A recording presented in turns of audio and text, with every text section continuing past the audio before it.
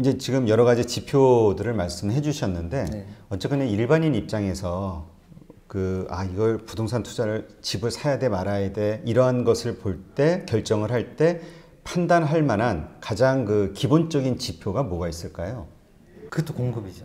아 그냥 계속 공급만 예, 보면 공급이 가장 중요합니다. 음. 모든 시장의 방향은 상승과 그 하락의 방향은 공급만이 만들어요. 사실은 모든 그 분들이 뭐 정책이나 그 여러 가지 변수에 의해서 시장의 방향이 바뀐다고 생각하는데 제가 이 30년 동안 그 공급량과 가격을 분석해 보면은 아, 그 모든 변수가 공급량으로 다 흡수됐어요. 흡수돼서 공급량만큼 많이 방향을 정하고 있습니다. 그래서 우리가 흔히 그 IMF나 금융위기 같은 그런 큰 위기도 시간이 지나면 다시 공급량으로 해서 방향을 잡고 갑니다. 지금 그러니까 많은 분들이 부동산 투자를 할 때는 정부의 전, 정책 그 스탠스가 어느 방향을 가고 있는지를 보면서 결정해야 된다 이야기를 많이 하잖아요. 네. 그러니까 정책이 이긴다 이렇게 생각하는 거죠. 네.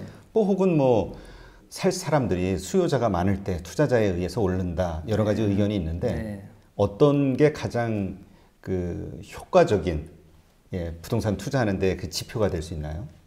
근데 우리가 계산을 해보면은 네. 정부가 하는 계산은 현장에서 맞지가 않아요. 그 무슨 말이냐면은 그 대표님이 혹시 그 집에 거주하시죠? 네. 근데 이제 정부의 정책에 의해서 매도를 하라고 이렇게 얘기하잖아요. 정부에서 음, 네. 할인 대책 이렇게 해서 네. 그, 그 대표님이 매도를 하게 되면은 대표님도 어딘가 거주해야 되죠. 예. 그 매도하면 매물의 향이 늘어나지만은 대표님도 수익하면 되죠. 그렇죠. 그러면 1대1로 바꾸면 똑같습니다. 시장은요. 음. 그래서 정부에서 아무리 규제를 하고 해도 그 투자자에서 나오는 매물들은 그 속에 수요가 들어있기 때문에 매매에서 전세로, 전세로 월세로 바꾼 수요만 바꾼 거지 전체 수 그 공급이 늘어난 거 아니에요. 그래서 매물로 바뀐 물건들이 잠시 그 물건들이 소화할 때까지만 시장이 말을 듣습니다. 그 물건들이 소화가 되게 되면은 그 다음부터 시장은 자기 방향을 또 가게 돼 있어요. 그래서 계속해서 규제를 해도 올라가고 해도 올라가는 거예요. 그래서 정부가 시장을 이기려면은 공급을 해야 돼요. 아 많이. 예. 근데 이제 방 이렇게 하면 되죠. 매도를 하게 정부가 정책을 하고 네. 또 공급을 해서 매도 물량하고 같은 물량을 같이 겹쳐버리면은 시장 하락하게 돼 있습니다. 음. 그렇게 그렇지 않고 공급은 줄고 매도를 늘게 하면은 이 매도가 줄 때까지만 시장이 말을 듣고 이 매도가 없어지면 다시 이 공급량하고 같이 방향을 잡게 돼 있어요. 음. 그래서 방향이 안 바뀝니다. 음. 그래서 계속 규제를 해도 방향을 바뀌지가 않아요. 그러면 정부에서 어, 부동산 가격을 잡기 위해서 네. 사실 이제까지 정부의 노력들은 많이 실패해 왔잖아요. 네, 네. 그왜그 공급을 좀 많이 하지 않을까요? 그 정부에서는 그 다주택자가 가지고 있는 물건들을 내놓으면은 네. 그 물건 통해서 공급 충분하다 생각하는 거겠죠. 근데 실질적으로 다주택자가 가지고 있는 그 물건들 속에는 다 수요가 들어가 있습니다. 대부분 다. 그래서 그분들이 그 나와서 다시 수요가 되기 때문에 새롭게 들어오는 공급량이 아니면은 시장에 영향이 그렇게 오래 가지 않아요. 네. 그래서 정부가 생각하는 그 공급량하고 시장에서 돌아서 새롭게 들어오는 공급량하고는 전혀 시장에 미친 영향이 다른 거죠. 그러면 이제 보통 이제 부동산 가격이 상승할 때 있지 않습니까? 네. 근데 상승할 때마다 좀 그 원인이 네. 다르다 뭐 네. 이렇게 얘기를 하더라고요. 네. 그 원인이 바뀌는 거에 집중을 해야 된다라고 말씀을 하셨는데 책에서 네, 네. 이유가 뭔가요? 근데 이제 우리가 사람들이 움직일 때 네. 공급량으로 움직이는 거 아니거든요. 공급량이 적었다고 지금 많은 분 그, 그렇게 이제 교육을 받고 그렇게 움직이긴 하는데 네. 실제 사람들이 현장에서 움직이는 거는 호재를 보고 움직이는 거나 아니 지하철 보고 움직이는 학군을 보고 움직이는 거 움직이는 게 다 모습이 달라요. 네. 근데 대부분 다 우리가 그 이제 일반인들 움직이는 거 보면은 가격을 정점으로 두고 움직이거든요. 음. 가격을 가장 먼저 선두에 보고 움직이기 때문에 가격이 언제 어떻게 움직인가를 가장 먼저 봅니다. 그래서 강남 가격이 얼마에 거래됐다 이렇게 보거든요. 그러니까 다음 다음 지역이 어디일까 이렇게 움직이기 때문에 아, 그러니까 강남이 먼저 가격이 오르면 네. 아, 그 다음 어느 지역으로 또 이게 이전이 될 예, 것이다. 예, 그걸 보기 때문에 그 이유를 다른 이유를 자꾸 찾습니다 사람들이. 네. 그다음에 이제 호재 가면 뭐 지하철 역세권 어디가 생기는가 이렇게 보거든요. 그래서 실제적으로 상승은 공고로 시켰지만은 가격이 한번 움직이게 되면은 그 다음부터는 사람들이 다른 이유를 통해서 움직이게 되기 때문에 원인들을 계속 바뀌게 됩니다. 그러면 그 원인을 아는 게 왜 중요해요? 다음 지역을 우리가 찾아가기 위해서 아, 그러니까 다음에 오를 만한 지역이 어딘지를 찾기 위해서입니다. 네. 그러니까 이번에 이런 원인으로 가격이 올랐다면 네. 이 원인과 연계되는 요 다음 지역이 어딘가 아, 어딘가 네, 있다. 찾- 있다는 거죠. 거기가 이제 오를 것이다. 네.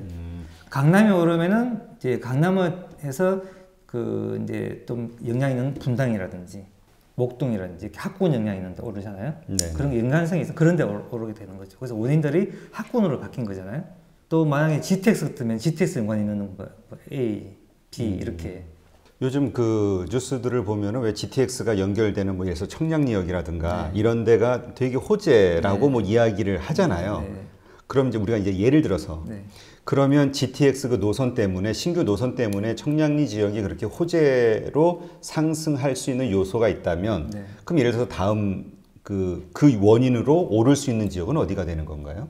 그 인접이겠죠. 계를 통해서 가격이 상승하면은 계 옆에 있는 지역들이 같이 그 가격이 따라오르죠. 그러면 예를 들어서 그 GTX 노선의 신규 그 노선에 나오는 어떤 역들이라든가 네. 이런 곳들은 어떻게 되나요?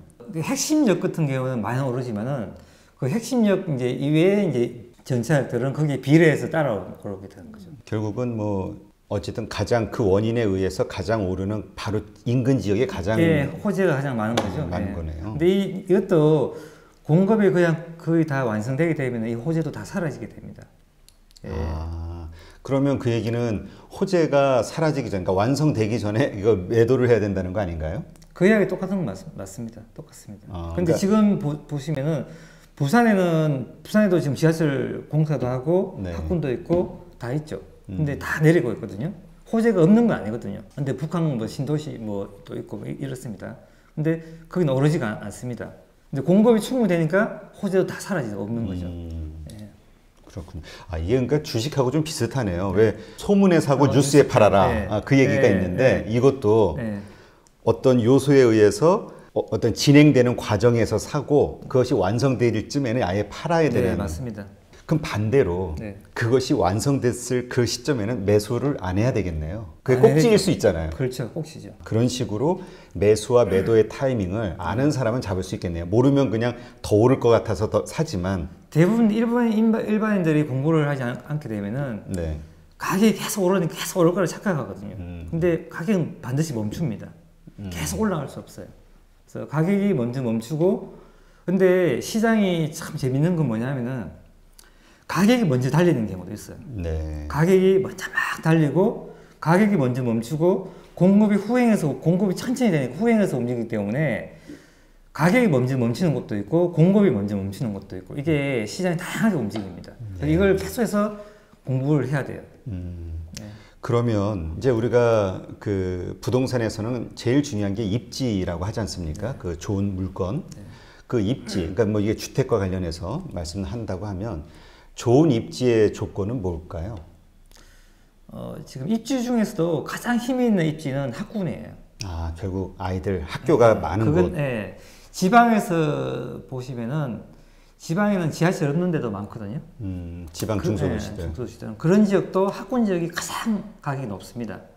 그리고 주택이 노후화돼도 가격이 가장 안 떨어지는 곳은 학군 지역이에요. 음, 가장 학군이고, 그다음 교통, 뭐 자연환경, 뭐 상권 그게 여러 가지가 있겠죠. 네. 예, 복합적으로 있는 게 가장 좋고, 그 중에서 학군 힘이 가장 크다.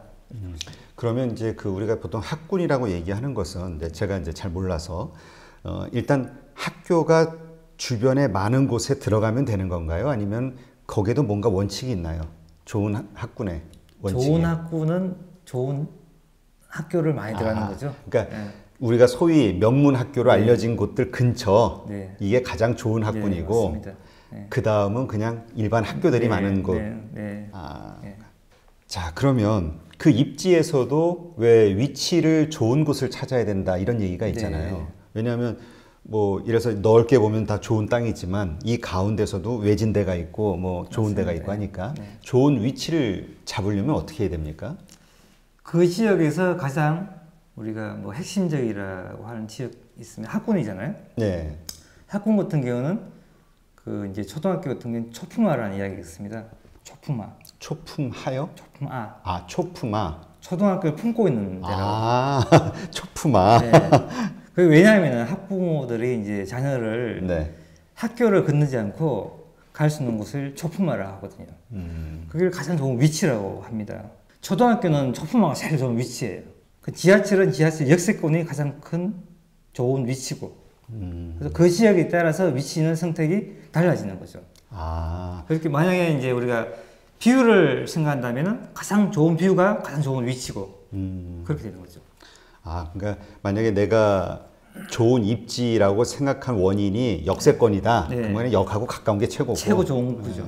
만약 상권이다 그러면은 상권이 가장 좋은 위치고. 음.